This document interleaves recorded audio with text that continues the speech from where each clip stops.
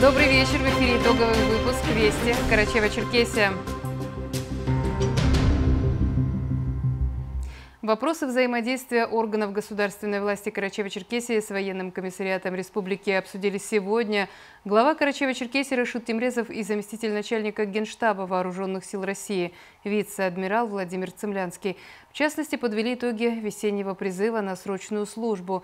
Владимир Цемлянский отметил, что Карачева-Черкесия традиционно выполняет обозначенный план по призыву, а военнослужащие-срочники отличаются дисциплиной, ответственностью и крепким духом защитников Отечества.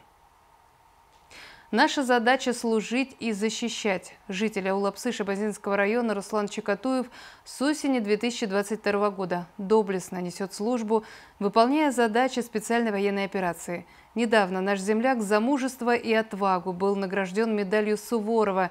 Сейчас Руслан проходит реабилитацию после лечения и собирается продолжить службу. О боевом пути разведчика Чекатуева подробнее расскажет Алихан Лепшоков. Только в армии я ощутил, что такое воинское братство, так как каждый из нас един в выполнении боевых задач и защиты нашего Отечества, отмечает участник специальной военной операции Руслан Чекатуев. Он был призван на службу по мобилизации осенью 2022 года. Попал в разведку, где продемонстрировал мужество и стойкость в отражении многочисленных атак противника. Наша задача – помочь российским войскам в продвижении вперед. И поэтому от каждого зависит выполнение поставленных задач их наступление, да, наша оборона, и вот какая-то, да, стычка, да, там происходит вот один день. Пусть она не решает, да, там исход вообще э, масштабный, да, такой, но именно вот твое и именно их в этот момент как бы вот такой надо победить, надо отстоять, надо остаться, надо, надо добить до конца. Вот, ну так как-то. За проявленную отвагу и мужество Руслан Чикатуев был награжден медалью Суворова. Выполняя очередную боевую задачу, он получил множественное осколочное ранение правой ноги. Несмотря на боль, я всеми силами старался не оставлять занятую нами позицию, вспоминает Руслан. Сейчас участник СВО проходит реабилитацию и восстановление. Проходим, да, реабилитацию. Ну, у нас доктора этот, э, с пониманием, да, со всем сознанием дела к этому относятся. То есть э, про, проходим там проверки, да, там в динамике сравнивают, там улучшения, там ухудшения, да, там нервные окончания, соединения, как чувствуешь, так ходишь, как, что, как. Ну вот э, я, например, выехал оттуда, вода вообще ногой управлять не мог. Потом на хостелях, потом с палочкой. Сейчас как бы, ну, прихрамывая, да, там, если ну как выразиться, да, неосторожно там ногой как-то попользоваться, я ну, могу там ощутить какой-то дискомфорт там или еще как-то что-то, но уже, можно сказать, все хорошо. В период прохождения службы мы не только старались выполнять все поставленные боевые задачи, но и помогали местным жителям, которые часто нуждались в помощи. Каждый из нас патриот своей страны, и мы должны показать себя как настоящие защитники, признается Руслан Чекатуев. Бывало, да, там встретим, да, местных жителей, да, каких-то, ну, видели, да, там, как они ну, чего-то там, ну, в чем-то нуждаются, да, там, даже в дальнейших стычках, да, вот э, мы и их уже защищали, да, как, как, как своих, да, вот, то есть, как бы, ну, надо, старались всем помогать всегда. Нужно быстрее восстановиться и вернуться, чтобы оказать поддержку нашим бойцам, подытожил разведчик Руслан Чикатуев. Алихан Лепшоков, Миха Каракелян, Вести Карачаева-Черкесия. Завтра день сотрудника органов следствия Российской Федерации. Следственный комитет – это один из участников правоохранительной системы страны, в компетенции которого находится расследование наиболее сложных преступлений. О результатах работы Следственного комитета по Карачаево-Черкесии каков процент раскрываемости, борьба с коррупцией и самых резонансных делах. В эксклюзивном интервью программе «Вести» рассказал руководитель Следственного управления Следственного комитета России по Карачаево-Черкесии Николай Щепкин. Сейчас по уголовному делу установлено, что э, фигуранты планировали совершение террористических актов, э, дальнейшие нападения на сотрудников правоохранительных органов, органов власти целью завладения оружием и э, терроризирования населения республики. Для расследования уголовного дела создана следственная оперативная группа э, из числа наиболее опытных следователей Следственного управления и оперативных сотрудников органов МВД и ФСБ региональных. Расширенное интервью руководителя Следственного комитета Республики Николая Щепкина смотрите завтра на телеканале «Россия-24» в 17.30.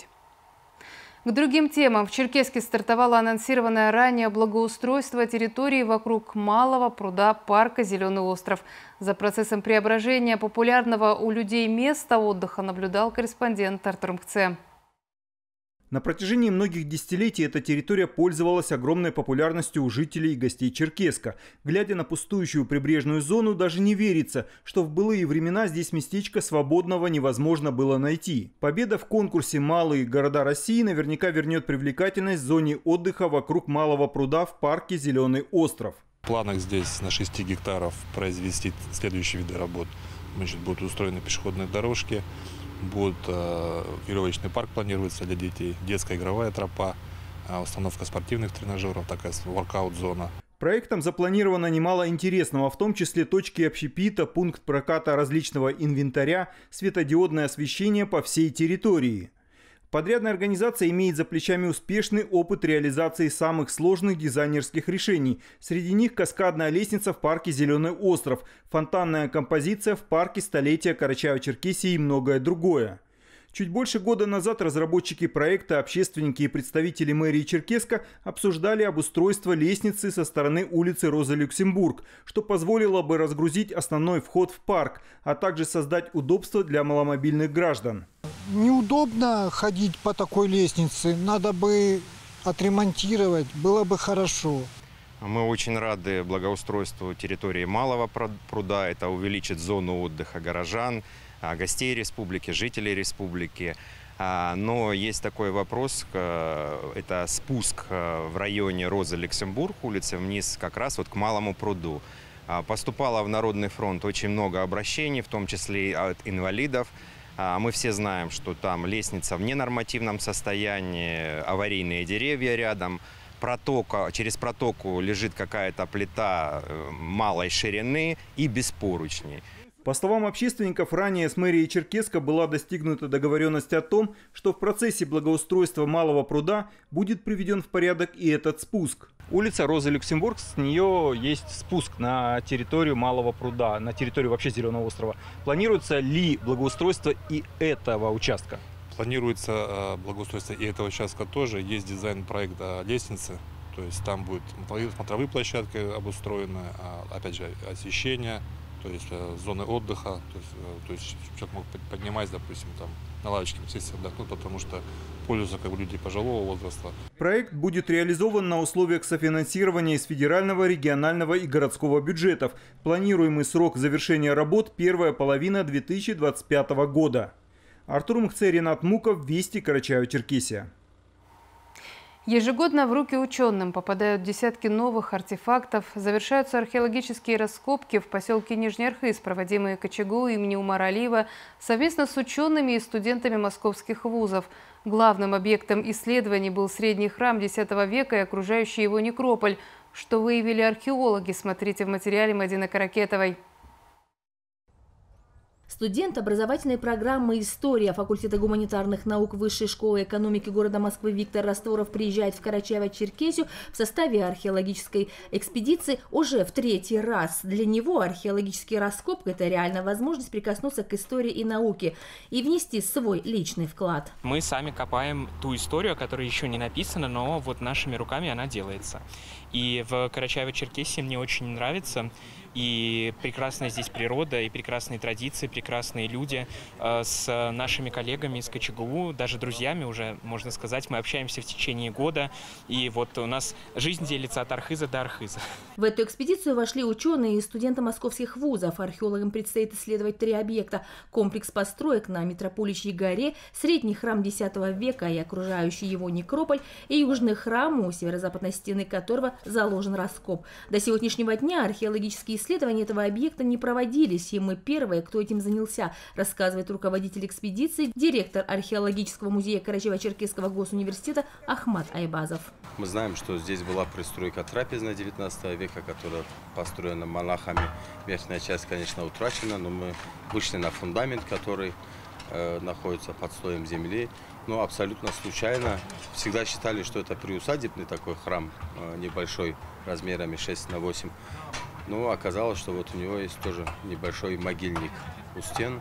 наткнулись на несколько погребений. Одно из погребений, рассказывает Ахмат Айбазов, вероятнее всего женское, а второе, также сооруженное в каменном ящике, парное, предположительно, останки мужчины и женщины, похороненных вместе. Они сооружены по христианскому обряду, там 10-11 века, безинвентарные, то есть э, даже нательных крестиков на них нет, то есть они пустые.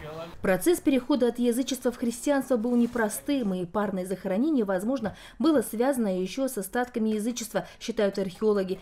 Участие в данной экспедиции студенты считают не только увлекательным, но и очень полезным, ведь у них есть уникальная возможность не только почувствовать себя настоящими археологами, но и пообщаться с ведущими специалистами в области археологии, архитектуры и фотограмметрии. Очень э, интересно прикоснуться к этому впервые, увидеть, как его впервые измеряют, посмотреть на его фундамент, посмотреть на погребения, которые были возле него, а, на какой-то минимальный инвентарь, пускай он там костяные бусины, но все же. Это очень здорово всегда. И очень большой опыт, потому что вот я работаю с Ахматом Юсуфовичем на Южном храме, и э, ну, бесценный действительно опыт по всяким археологическим процессам. Для студентов также организованы увлекательные лекции, посвященные Аланам, архитектуре и культуре Кавказа и влияние на нее Греции и Грузии, расскажут о мегалитах, дольменах мира и Западного Кавказа, древней игре вальчики, которая до сих пор сохранилась у карачаевцев, и еще о многом другом. Раскопки на этой территории, они совместные и проводятся вместе с Институтом археологии Академии наук, Институтом востоковедения, Российской Академии Наук, Высшей школы экономики Москвы и Карачаево-Черкесским государственным университетом. И они проводятся с 2018 года на регулярной основе совместно с практиками исторического факультета Высшей школы экономики и Карачаево-Черкесского государственного университета. Эти раскопки только начало в планах исследований всей территории древнего архызского городища, а мы очень надеемся, что это мощное межвузовское взаимодействие будет долгим и плодотворным, говорит Ахмат Айбазов. Мадина Каракетова, Ольга Савенко, Ренат Муков, Вести Карачаева-Черкесия, Архыз. Сейчас прогноз погоды от синоптиков, а после продолжим.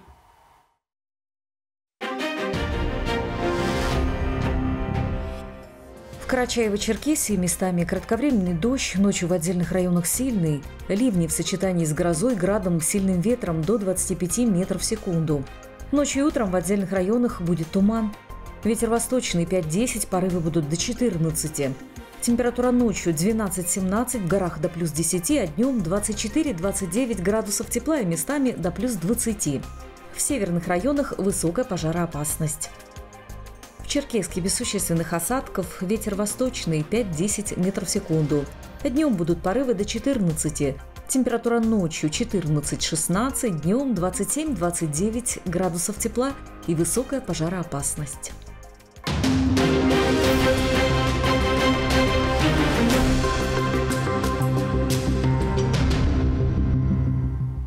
Продолжаем выпуск. В Черкеске организована процессуальная проверка по факту ненадлежащего оказания услуг косметологическим салонам и нарушения прав клиентов. Следственными органами по Карачаево-Черкесской республике организована процессуальная проверка по факту нарушения тайны личной жизни и оказания услуг, не отвечающих требованиям безопасности, повлекших причинение вреда здоровью местной жительницы. По предварительным данным, в июле текущего года в одном из процедурных кабинетов косметологического салона клиентка получила травматические повреждения при падении, в результате чего она была вынуждена обратиться за медицинской помощью. Также выяснилось, что в помещении салона были установлены скрытые видеокамеры, осуществляющие запись оказания услуг клиентам. По данному факту следователями Следственного комитета проводится комплекс проверочных мероприятий, направленных на установление всех обстоятельств произошедшего. По результатам проверки будет принято процессуальное решение. Следователи отдела МВД России по городу Черкеску совместно с психологом провели профилактическую беседу с коллективом Главного бюро медико-социальной экспертизы. Главная цель подобных встреч – предупредить как можно больше людей об уловках мошенников. Ведь профилактика по-прежнему остается главным методом борьбы с дистанционным обманом. Следователи рассказали о наиболее распространенных схемах, которые используют мошенники, чтобы завладеть имуществом граждан, а также о том, как не попасться на уловки аферистов. Провели, кон привели конкретные примеры, когда граждане, поверив неизвестным лицам, лишили своих сбережений. В ауле Верхняя Тиберда Карачаевского района прошел велопробег «Здоровая семья». Маршрут проходил от Северного приюта до аула Верхняя Тиберда. В велопробеге участвовало около 150 человек, большинство из которых представители юного поколения. Он проходил по инициативе администрации Верхнетибердинского сельского поселения. Все участники успешно преодолели дистанцию протяженностью 42 километра получили заряд бодрости и хорошего настроения. Мероприятие проходило в рамках Года семьи, объявленного президентом страны Владимиром Путиным. Воспитание подрастающего поколения является самым важным, самой приоритетной задачей администрации Верхнетибердинского сельского поселения. Дети – наше будущее, наша опора, наша гордость.